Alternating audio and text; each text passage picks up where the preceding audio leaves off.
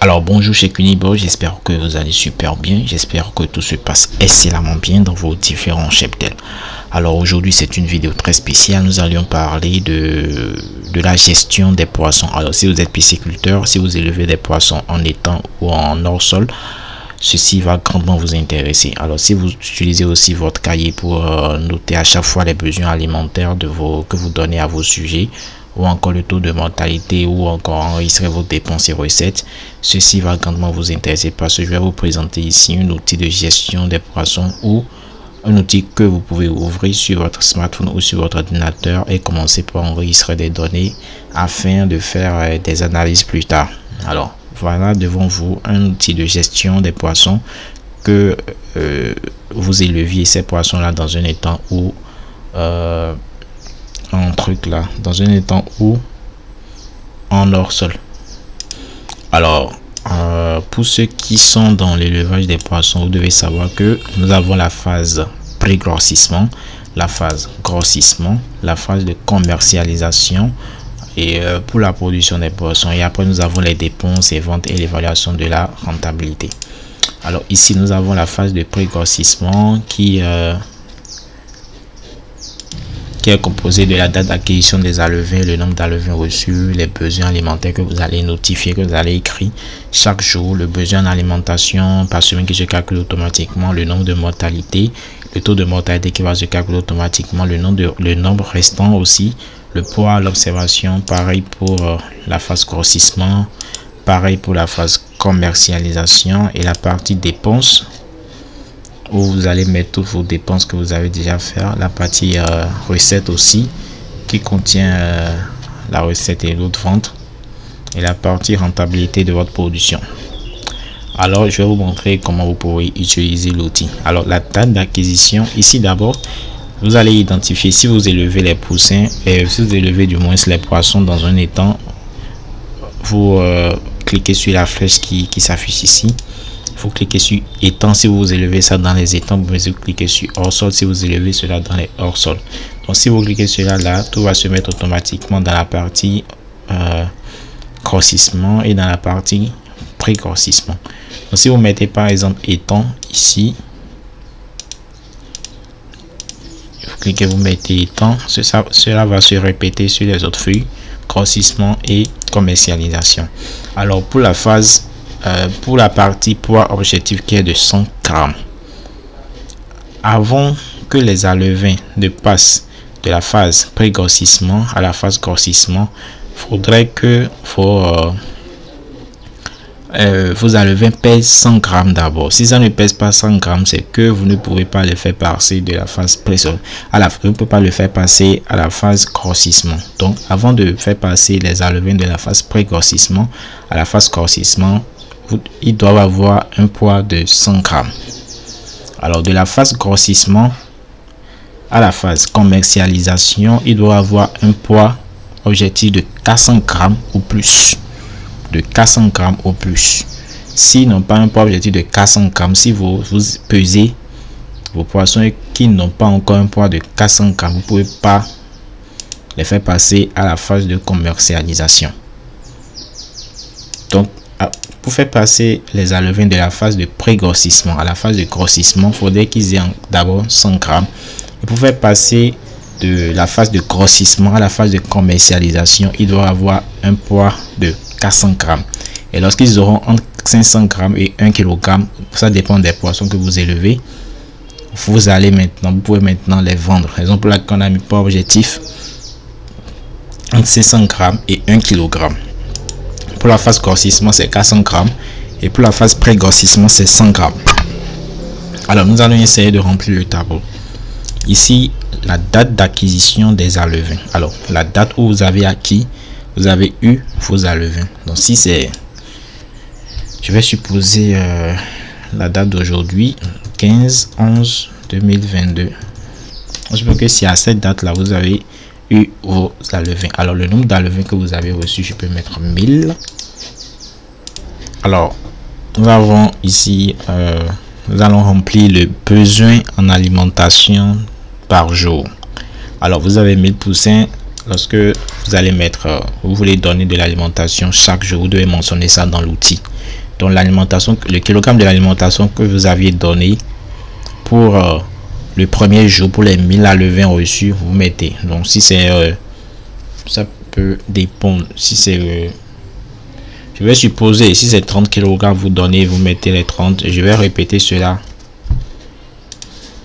je vais répéter cela. Juste un exemple. C'est à vous de voir maintenant si vous êtes dans votre cheptel. Euh, combien de kilogrammes vous allez mettre. Et vous donnez à vos sujets. Vous mentionnez cela dans le tableau. Donc ici, ça met automatiquement la quantité totale d'alimentation que vous avez donné à vos poissons, ce qui correspond à 210 kg que vous avez donné la semaine 1. Maintenant, le nombre de mortalité. Le nombre de mortalité, comme vous, les poissons vivent dans l'eau. Vous ne pouvez pas connaître le nombre de mortalités par jour. Vous devez d'abord finir la phase précossissement jusqu'à la fin et après évaluer maintenant combien vous avez eu comme mortalité. Parce que vous ne pouvez pas le faire par semaine. Vous devez le faire en une fois ou par mois pour être vraiment truc là. Pouvez le faire par mois ou en une fois. Donc, vous dites maintenant, vous euh, mettez le nombre de mortalités que vous aviez eu euh, lors de la phase pré-grossissement. Alors, si dans les 1000, il y a eu 200 qui sont morts, vous mettez les 200 ici. Et le taux de mortalité se calcule aussi automatiquement. Ça veut dire que vous avez 20% de taux de mortalité et le nombre qui va rester est de 800. Vous avez vu, vous n'avez rien fait comme calcul, tout est fait automatiquement. Donc, le nombre restant d'alevins qui vont commencer euh, la phase grossissement avec vous est de 800 ici vous allez mettre le poids moyen le poids moyen de des alevins qui vont passer à la phase grossissement si le poids est inférieur à 100 grammes ce qui veut dire que vous ne pouvez pas les faire passer dans la phase grossissement il faut encore les nourrir pour que ça atteigne les 100 grammes donc si vos alevins 100 grammes et plus, vous pouvez les faire passer dans la phase grossissement. Alors, nous arrivons au niveau de la phase grossissement. Alors, la phase pré-grossissement dure en moyenne un mois et demi. Donc, 45 jours. Alors, pour passer de la phase pré-grossissement à la phase grossissement, les poissons doivent avoir un âge de 45 jours. Doivent, doivent être âgé de 45 jours. Raison pour laquelle au niveau du grossissement, la date s'est mise, mise automatiquement. Le pré-grossissement a eu lieu. Vous avez acquis les alevins le 15 novembre 2022 et la phase de pré et de grossissement du moins aura lieu le 30 décembre 2022 car la phase de pré-grossissement dure un an et un mois et demi. Donc ici, ça vous met en même temps le nombre qui, a, qui, qui était restante restant au niveau de la phase pré-grossissement. Ici, quand vous avez fait le calcul, ça vous restait 800 levains qui vont commencer la phase grossissement. Alors, au lieu de répéter cela ici, cela s'est mis déjà automatiquement. Et vous répétez le même, euh, euh, le même scénario. Mais jusque ici, le taux de mortalité, vous mettez le nombre de mortalité que vous avez eu par mois. Donc, si dans le mois 1, vous avez tel mortalité, vous mettez ça ici et le taux de mortalité va se calculer automatiquement, le nombre, le nombre restant aussi. Alors, pour que dans les 800, nous avions dans le premier mois 100 qui sont morts. Je vous dis que ça vous calcule en même temps le taux de mortalité qui est de 12,5%. Donc, cela se fait mensuellement durant la phase de grossissement. Ça se fait mensuellement et le poids ici doit être supérieur ou égal à 400 grammes avant de faire passer de la phase grossissement à la phase commercialisation. Alors, pareil pour la phase commercialisation aussi. Alors, pareil aussi remplissage, c'est la même chose au niveau aussi de la phase de commercialisation. Vous remplissez cela, c'est la même chose. Et au niveau du poids objectif, ça doit être compris entre 500 et 1 kg. Si vous voulez que votre poisson ait 1 kg, en fait, ça dépend du type de poisson que vous élevez, si c'est clarias euh, et autres. Donc, ça dépend du type de poisson et le poids que vous voulez atteindre dans votre cheptel. Mais d'habitude, euh, les pisciculteurs veulent que le que les poissons atteignent un poids de 1 kg avant de les vendre ou 500 g. Donc ça dépend de vous et de vos objectifs. Alors c'est comme ça que vous allez remplir la phase de pré-grossissement, la phase de grossissement et la phase de commercialisation. Alors allant dans la partie dépenses, vous allez numérer le tout ce que vous avez acheté concernant l'alimentation, vous l'énumérez ici. Tout ce que vous avez acheté concernant les produits vétérinaires, vous l'énumérez aussi ici. Et pareil pour autre chose si vous avez acheté d'autres choses. Alors on va faire un essai. Supposons que à la date de 12 11 2022, j'ai payé euh, l'aliment. J'ai payé l'aliment pour les poissons. Aliment pour les poissons et nombre de kilogrammes, je peux dire 100. Le prix unitaire, je peux mettre par exemple 500 et ça fait 50 000. Au niveau des produits vétérinaires, par exemple 13 11 2022. Le type de produit, je sais pas trop.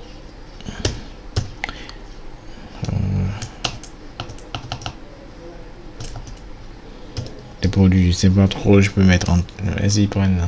C'est rare que les poissons prennent de, des produits vétérinaires. On peut laisser ça. Au niveau de, de haute charge, je sais pas trop. Donc c'est à vous de remplir cela. Maintenant, au niveau de la phase vente. Oh, j'ai mis euh, total poisson. Alors au niveau de la vente, si vous avez vendu du poisson, je peux mettre par exemple 20, 12, 2022. Le poids moyen que vous avez vendu, le poids moyen du poisson, je peux mettre euh, de tous les poissons vendus, hein, le poids moyen de tous les poissons vendus. Donc si vous avez vendu par exemple 10 poissons, vous mettez le kilogramme des 10 poissons, vous mettez ça là. Sinon c'est pas le poids, le poids unitaire de chaque poisson, mais le poids de tous les poissons que vous avez vendus. Donc si vous pesez cela, vous mettez le poids moyen là. Donc, si vous avez pesé les 10, que vous trouvez par exemple que ça fait 15, vous mettez les 15 là et le nombre vendu, 15 euh, aussi. Puis c'est 10 poissons vous avez vendu, du moins, c'est 10 poissons. Donc 10. Le nombre vendu de prix unitaire par kilogramme, c'est à vous de voir si c'est 1800. Hmm. Donc ici, c'est si vous vendez les poissons par poids vous allez mettre le prix unitaire d'un poids et cela va faire le prix unitaire fois le poids moyen que vous avez eu. Parce que vous ne pouvez pas, là c'est pas le poids unitaire que vous allez faire truc là. Donc ici ce n'est pas le poids moyen, que, le poids unitaire d'un poisson que vous allez mettre là, mais le poids de tous les poissons que vous avez vendus à une date donnée. Si par exemple le 20, le 20 décembre 2022 vous avez vendu par exemple 10 poissons, vous pesez les 10 poissons et vous voyez le poids de ces 10 poissons là. Donc vous mettez le poids là et vous mettez le prix unitaire d'un poids. Sans le prix par kilogramme. Maintenant, si vous mettez le prix au niveau de prix unitaire, le prix par kilogramme au niveau de prix unitaire, là où il y a montant, cela fera en même temps le prix unitaire fois le nombre de kilogrammes que vous avez vendu. Alors là, on ne vend pas. Vous pouvez décider de vendre par poisson, mais la plupart vendent par kilogramme. La plupart vendent par kilogramme. Pour laquelle j'ai fait l'outil euh, par kilogramme. Vous faites le prix unitaire par kilogramme et le calcul se fait automatiquement aussi en fonction du kilogramme. Alors quand vous remplissez tout ça, le, le total des recettes se mettra ici. Et là, le total des recettes, ça va se mettre ici. Et si vous avez fait d'autres ventes aussi, euh, d'autres ventes dans, dans la pisciculture, dans l'élevage des poissons, vous mettez cela ici. Et après, vous irez dans la partie rentabilité. Ça vous met en même temps les dépenses que vous avez eu à faire, la recette, la marge bénéficiaire de moins 23 000. C'est un exemple que nous avons donné. Le taux de marge bénéficiaire qui est de moins 85,19. Et comme observation, ça vous met en même temps pas rentable. Nous n'avons pas, pas rempli tout, toutes les parties de, de l'outil. On n'a pas, rempli les, toutes les dépenses. On n'a pas rempli également toutes les ventes. On a juste supposé, raison pour laquelle nous sommes dans le négatif. Alors voilà un peu comment vous pouvez utiliser l'outil de gestion des poissons si vous êtes dans la pisciculture. Alors j'espère que cela vous aiderait beaucoup et si vous êtes vraiment intéressé, allez dans la partie description, cliquez sur l'outil qui vous intéresse. Si l'outil de gestion des poissons vous intéresse, cliquez sur cet outil là et contactez-nous directement sur WhatsApp et nous allons discuter à propos de ça. Alors N'oubliez pas, si vous êtes nouveau sur la chaîne, de vous abonner, de cliquer sur la cloche de notification pour ne rien rater de nos vidéos. Et si vous êtes un ancien, n'hésitez pas à liker cette vidéo, cela nous pousse à faire ce genre de vidéos à l'avenir. Alors, à très bientôt et ciao